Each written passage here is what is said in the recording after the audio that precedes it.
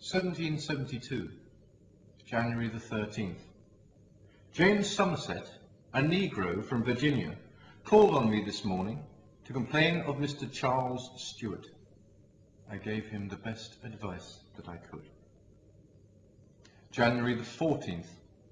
Mr. Cadew called on me on favour of James Somerset. January the 29th.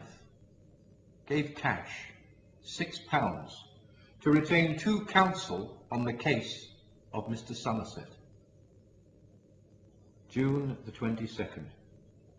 James Somerset came to tell me that judgment was this day given in his favour.